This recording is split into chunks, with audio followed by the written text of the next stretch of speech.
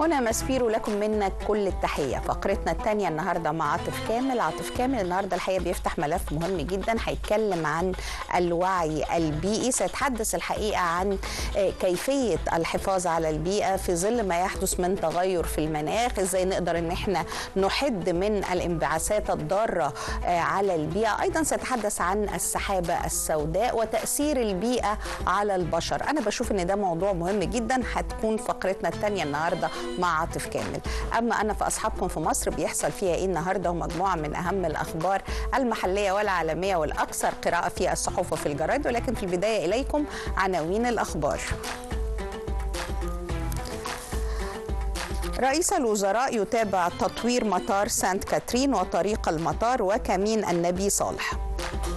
مدبول يتابع المنصة الجغرافية لجنوب سيناء الفائزة بجائزة التميز العالمية.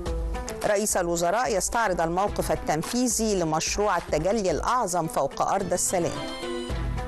الحكومة تنفي إصدار قرار بتحصيل قيمة برامج رحلات العمرة بالدولار.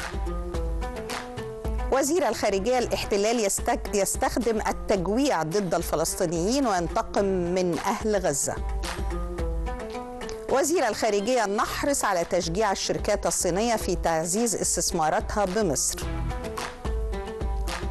تعرف على آليات وخطوات الحكومة لتعزيز الهوية الوطنية. وزير الصحة حجم سوق الدواء المصري يبلغ 300 مليار جنيه سنوياً. مستشار الرئيس للصحة مشروع البلازما من أنجح المشاريع. الحكومة تستهدف زيادة مساهمة الاقتصاد الأخضر في الناتج المحلي 60% وزارة الصحة تشدد على تطبيق إجراءات مكافحة العدوى داخل المنشآت التعليمية. انطلاق العام الجامعي الجديد اليوم ب 111 جامعة و181 معهد والترم 14 أسبوع. رئيس جامعة القاهرة يشهد تحية العلم مع الطلاب تزامنا مع انطلاق العام الجامعي. رسميا جيش الاحتلال يعلن اغتيال حسن نصر الله. إسرائيل سيطرنا على برج المراقبة في مطار الحريري ومنعنا هبوط طائرة إيرانية. وبكده بنكون قلنا عناوين الأخبار. فاصل وارجعوا لنا مرة تانية. مصر بيحصل فيها إيه النهاردة؟ رجعنا لكم مرة تانية والخبر الأول اللي معايا بيقول رئيس الوزراء يتابع تطوير مطار سانت كاترين وطريق المطار. كمين البني النبي صالح مع الهاتف الآن الأستاذة هند مختار مدير تحرير اليوم السابع ومسؤول ملف مجلس الوزراء. مساء الخير يا أستاذة هند. مساء الخير وأهلا وسهلا بحضرتك. أهلا بيكي. أنا بس أستاذة حضرتك توطي التلفزيون؟ اتفضلي مع حضرتك. طيب يعني خلينا نتابع مع حضرتك تفاصيل الخبر والحقيقة التطور اللي بيحدث في المطار. إزاي نقدر يكون عندنا مطار أكثر تطورا يستوعب الحقيقة العدد الكبير من السياح اللي هيجوا ومجموعة السياحة المختلفة. طبعا النهارده كان رئيس الوزراء في جولة لجنوب سيناء وكان حريص على زي ما حضرتك قلت إن هو تطوير مطار سانت كاترين. فالتطورات الجديدة هتكون فيها يعني مبنى ركاب بيسع ل 600 راكب في الساعة. كمان في شاشات داخلية وخارجية علشان عرض الرحلات القادمه أو اللي تم يعني قدومها إلى المطار. هيكون في كمان تطوير للأجهزة الداخلية وأجهزة الملاحة جوه المطار. كل هذه التطويرات بتصب في مصلحة جذب معدلات أكثر للسياحة في جنوب سيناء تماشيا مع مشروع التجلي الأعظم اللي تفقده النهارده السيد رئيس الوزراء. طيب وإحنا بنتكلم الحقيقة عن تطوير يعني لازم نتكلم إن إحنا أكيد هيبقى عندنا فرص عمل للشباب هيبقى عندنا ممكن أماكن من خلالها جوه المطار إن إحنا نقدم مجموعة من نقول المشروعات المختلفة للسائح القادم. هو طبعا المطار فيه كتير من المشروعات الجديدة والخدمات المميزة للسائحين وكمان إن وجود تطوير واسعة في المطار بيتيح فرص عمل مباشرة وغير مباشرة للشباب المصري وكمان بيبقى فيه خدمات لصالح السائحين القادمين وفي كمان اتاحات للانتظار السيارات وفي أماكن للخدمات الصحية وخدمات الإسعاف والاطفاء وغيرها كثير من الخدمات المقدمة داخل المطار. طيب إحنا بنتكلم هنا عن المطار بس أنا برضو عايزة أتكلم على فكرة الطيران لأن دائما الحقيقة معظم الطائرات اللي بتكون في داخلي بتكون طائرات شارتر. فهل هيبقى في أيضا عندنا طائرات حديثة أكتر؟ هيبقى وخاصة في الطائرات الشارتر في الداخلي ده مهم جدا الحقيقة. لأن بيبقى في بعض الأحيان بيبقى في تأخير في موعد إقلاع الطائرة بيبقى عندي مشاكل جوه الطيارة. يعني عايزة أتكلم هنا عن الإمكانيات التكنولوجيا الحديثة للطائرات القادمة. هو الملف بالكامل ملف الطيران هو ملف مطروح على أجندة الحكومة المصرية علشان يتعمل مش مطار سانت كاترين بس كمان تطوير عملية الطيران وملف الطيران بشكل عام في كل المطارات المصرية. فزي ما حضرتك قلت كده ملف الطيران نفسه ووضع رؤية جديدة لقطاع الطيران ده بالكامل بيتم دراسته من جانب الحكومة وعندها رؤية واضحة في هذا الملف بيتم عرضه تباعا أكيد. الأستاذة هند مختار مدير تحرير اليوم السابع ومسؤول ملف مجلس الوزراء. أنا بشكر حضرتك يا فندم. ألف شكر. فاصل وارجعوا لنا مرة ثانية مصر بيحصل فيها إيه النهارده؟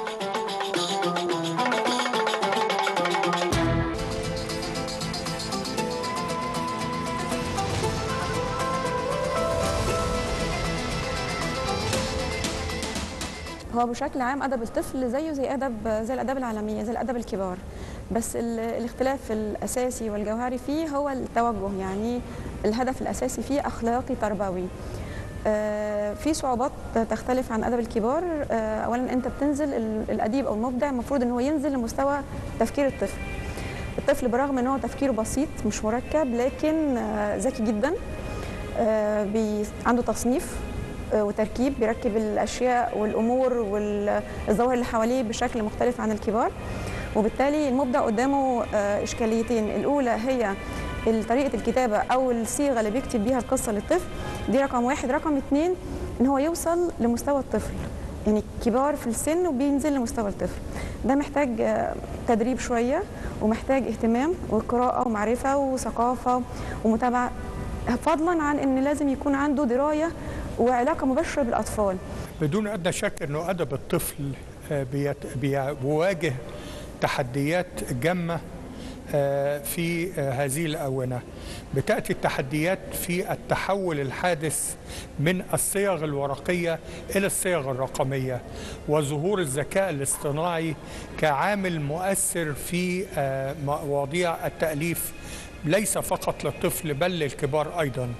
هذه التحديات بتفرض على القائمين على مجال التثقيف والثقافة ليس في مصر بس فحسب ولكن في جميع أنحاء العالم أن يعيدوا النظر في المادة والمحتوى الثقافي الذي يقدم للطفل لأن الطفل هو المستقبل. رجعنا لكم مرة تانية ومصر بيحصل فيها إيه النهاردة. الحقيقة الخبر اللي معايا خاص بالهوية الوطنية. الخبر بيقول تعرف على آليات وخطوات الحكومة لتعزيز الهوية الوطنية. مع الهاتف الآن الدكتورة هالة منصور أستاذ علم الاجتماع جامعة عين شمس. مساء الخير يا دكتور هالة إزاي حضرتك؟ مساء النور أهلا وسهلا بحضرتك والساده المشاهدين. الحقيقة وإحنا دايما في ظل التكنولوجيا وفي ظل العالم المليء الحقيقة بالصراعات التكنولوجية والإنترنت إزاي نقدر إن إحنا نحافظ على الهوية الوطنية وبشكل كبير جدا في وجود جيل الحقيقة لازم نقول إن هو بيتمرد وإن هو دائما يلجأ إلى الغرب. يعني طبعا الجيل الموجود عنده آلية عالية جدا على الاطلاع والمعرفة ونوافذ مفتوحة في ظل العولمة وال social media وأدوات التطور الكبيرة قوي في مجال الميديا. وبالتالي هنا هو بيطلع على كل الثقافات وعلى كل العادات والتقاليد. لكن دايما لو المواطن المصري عنده وعي وعنده رؤية لتاريخه ثقافته حضارته ما فيش أي حضارة في الدنيا ولا أي ثقافة في الدنيا تجابه الحضارة الثقافة المصرية أو الحضارة المصرية. وبالتالي الشباب هنا دايما محتاج للوعي محتاج إن إحنا نعرفه. ببلده بقيمة بلده بقيمة ثقافته. عشان يقدر إن هو يواجه كل المعطيات اللي داخلاله لأن في الحقيقة إحنا إحنا أقوى وإحنا لدينا كل ما هو مميز. ولكن في بعض الشباب ما عندوش المعلومة الكافية ما عندوش الرؤيه الكافية فبينبهر. بالثقافة الغربية أو بينبهر ببعض العادات والتقاليد الغربية.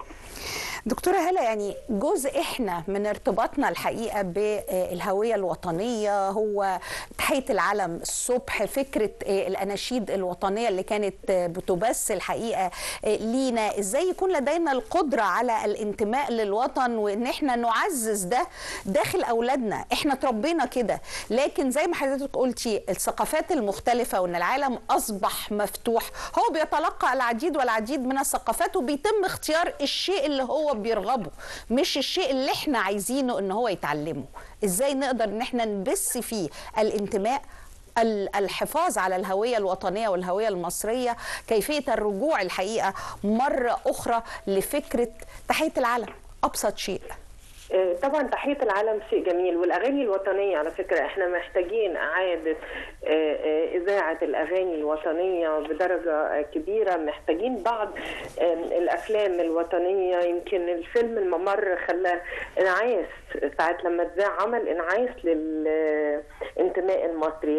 الإنسان المصري عنده انتماء فطري وعنده انتماء قوي جدا وإحنا أكثر شعوب العالم انتماء ولكن دايما بنحتاج إنعاش هذا الانتماء إنعاش هذا الانتماء بالمعلومة وبالفكرة وبعض الأنشطة وزي ما قلت حضرتك بالتحية العلم باستخدام السلام الجمهوري باستمرار واحترام السلام الجمهوري. اذاعه الأغاني الوطنية اذاعه بعض الأعمال الوطنية اللي بتدي شعور بالقيمة. واللي هي فعلا يمكن إحنا عندنا فرصة كمصريين إن إحنا مش محتاجين نضخم إيجابياتنا لأن إيجابياتنا هي كبيرة لوحدها لكن محتاجين نشوفها ومحتاجين نعي بيها ومحتاجين دايما نذكر الشباب بيها. أكيد. دكتورة هلا منصور أستاذ علم الاجتماع جامعة عين شمس بشكر حضرتك يا فندم ألف شكر. فاصل وارجعوا لنا مرة تانية. مصر بيحصل فيها إيه النهاردة؟ رجعنا لكم مرة تانية ومصر بيحصل فيها إيه النهاردة؟ والخبر اللي معايا بيقول الحكومة تستهدف زيادة مساهمة الاقتصاد الأخرج الأخضر في الناتج المحلي 60% مع الهاتف الآن الدكتور أحمد حجازي خبير الطاقات المتجددة. مساء الخير يا دكتور. مساء النور أهلا وسهلا. أهلا بيك يا دكتور. يعني الحقيقة عايزين نتكلم عن تفاصيل الخبر وعايزين نتكلم عن الاقتصاد الأخضر وكيفية الاستثمار في هذا الاقتصاد دور الحكومة القوي الحقيقة في دعم الاقتصاد الأخضر من أجل تنمية مستدامة من أجل اقتصاد أكثر امنا وسلاما.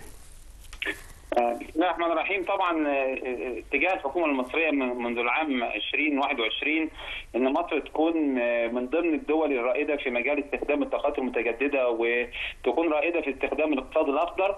وعشان كده الاتفاقيات الكبيرة قوي اللي اتعملت في الفترة اللي فاتت والمتوقع إنها تتعمل في الفترة الجاية هتساعد الدولة في إنها توصل لمستوى الدول الدول الرائدة في في استخدام الاقتصاد الأخضر وإن شاء الله طبعا ده يكون له أثر كبير جدا على العائد العوائد الاقتصاد في مصر وعلى ارتفاع مستوى المعيشة إن شاء الله. إن شاء الله. الحقيقة إحنا بنتكلم عن الاقتصاد الأخضر لازم نتكلم حقيقة على ما يحدث من تغير في المناخ إزاي نقدر إن إحنا بهذا الاقتصاد نحافظ على ما يحدث من تغير. فكرة يا فندم إن إحنا نقبل الوضع كما هو عليه وكيفية الحفاظ على ذلك ودعم الاقتصاد الأخضر بشكل كبير. وإحنا بنتكلم عن الهيدروجين الأخضر والأزرق وكيفية الحفاظ على القادم لمصر المستقبل. الحقيقة يعني آه الحقيقة الاقتصاد الأخضر يعني هو في مجمله نموذج اقتصادي بيهدف إلى تحقيق تنمية مستدامة ومع الأخذ في الاعتبار التقليل لأقل قدر ممكن للأضرار البيئية. وطبعا ده في النهاية ده بيؤدي إلى إن نشوء استراتيجيات بتساعد على تحسين اقتصاد الدولة وتحسين اقتصاد الفرد والاقتصاد الأخضر لما بنتكلم عليه بنتكلم على إنه مصر طبعا داخلة في خطط عاملة خطط الدولة عاملة خطط كبيرة جدا. عشان تدمج الاقتصاد الأخضر في الاقتصاد القومي وتحسن ال ال ال ال طبعا منظومة الدفع الدفع ال- الخاصة بال- بال- بالعملة الصعبة ووصول الاستثمارات. إحنا بنتكلم على إن متوقع إن وصول الاستثمارات في العام 2035 لحوالي 40 مليار دولار. يعني بنتكلم على إنتاج حوالي 3.2 من عشرة مليون طن من ال من ال- الهيدروجين حجم الأخضر. الاستثمارات. آه الهيدروجين الأخضر. مم.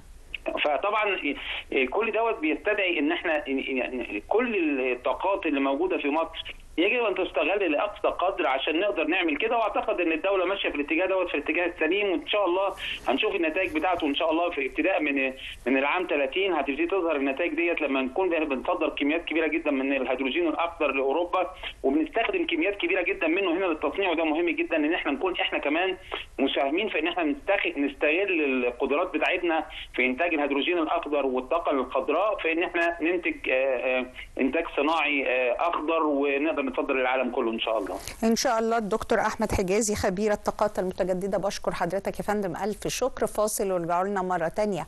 مصر بيحصل فيها إيه النهارده؟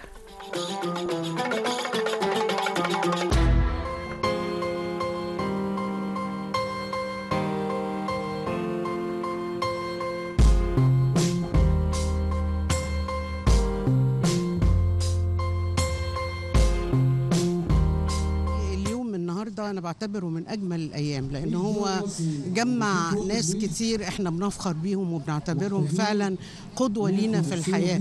السيدات اللي حصلنا على الميداليات وعلى التكريم في البارا اولمبيك وفي الأولمبيك والسباحات ال- اللي قبل كده زي السيدة رانيا علواني وغيرها دي نماذج آه، يعني بتدي للشباب المصري آه، آه، قدوة بإن هم ممكن إن هم يعملوا إيه في الحياة وإن هو مهما كانت إمكانياتهم ضئيلة إلا إن هو في إمكانية للنجاح.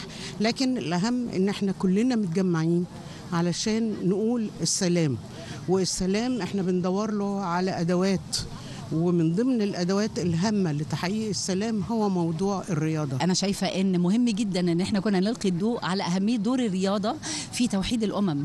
الحقيقة في يوم السلام العالمي آه، الرياضة لو تتفرج في أي مجال بتشوف الناس كلها مهم مش مهم خلفياتهم إيه بيتحدوا كلهم بيبقوا بهدف واحد وبأخلاق الرياضة الجميلة اللي بتجمعهم. مهم جدا. والمرأة على قد ما حققت في مجالات مختلفة في مجال الرياضة. إحنا شايفين في مصر حققت إزاي. هي المرأة أكتر آه، الفئات مجتمع اللي بتتعرض لويلات الحروب أو اللي بتكون آه، أكثر هشاشة عند آه، وقوع الحرب.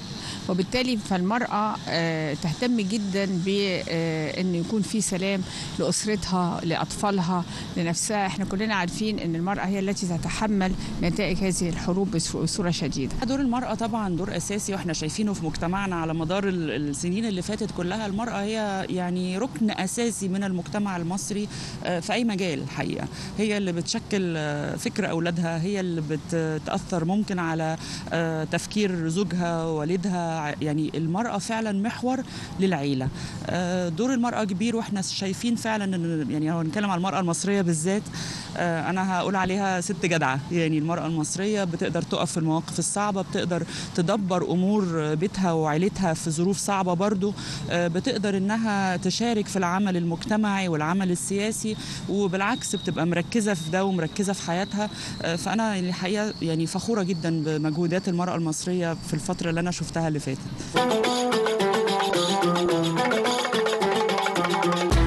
رجعنا لكم مرة تانية ومصر بيحصل فيها إيه النهاردة؟ وزارة الصحة تشدد على تطبيق إجراءات مكافحة العدوى داخل المنشآت التعليمية. مع الهاتف الآن الأستاذ سيد حسن متخصص في ملف الصحة بروزة اليوسف.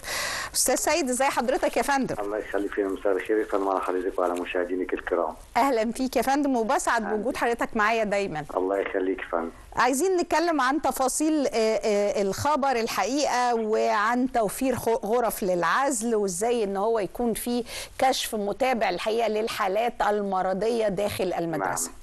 اتفضل. هو بالفعل يا فندم وزارة الصحة بتطبق اليومين دول إجراءات مكافحة العدوى عشان نبدأ نكافح العدوى من بدايتها فحصل حملة مرور على معظم مدارس الجمهورية عشان يتم التأكيد على توفير غرف العزل في حالة إن وجود بعض الحالات اللي بتحتاج للعزل يتم توفير غرف في المدارس بجانب غرفة الزيارة الصحية المعروفة طبعا للطلبة تكون موجودة للطلبة في حال ضمان طبعا توفر بيئة صحية آمنة عشان يحصل تطبيق اجراءات مكافحة العدوى بحيث إن اللجنة دي هدفها بالتراقب التهويه الجيدة بالفصول ومتابعة هتاخد عينات من مية للتأكد من مطابقتها المواصفات آه، وهيتم طبعا إعداد دليل ل- لرسائل التوعية والتثقيفيه لمقدمي الخدمة اللي هيتم التعامل معاهم في خلال الفترة الجاية. ويتم توفير خدمات الفحص الطبي طبعا للطلاب اللي هي الكشف المبكر عن أمراض سوء التغذية المقصود بها السمنة والنحافة والتقزم ويتم الكشف وفحص الأسنان على معظم الطلاب عشان يتم وضع خريطة صحية للفئات المستهدفة اللي هيتم التعامل معاهم إن شاء الله في المستقبل في حالة وجود لا قدر الله لأي طالب عنده أي مشكلة صحية يتم متابعتها من خلال الزائرة الصحية واللجنة دي وبناء عليه تم وضع تدريب 2129 من الفرق الطبية ديت هيتم. هيتم باجراء فحص طبي لأكثر من 2 مليون و460 ألف طالب وطالبة وتم عمل لهم دليل قياسي لل- للمهارات اللي هيتم استخدامها في الفترة الجاية وهي بروتوكولات العلاج. وطبعا إحنا عارفين إن كل طالب ليه تأمين صحي من الفترة الابتدائيه لحد الفترة الثانوية.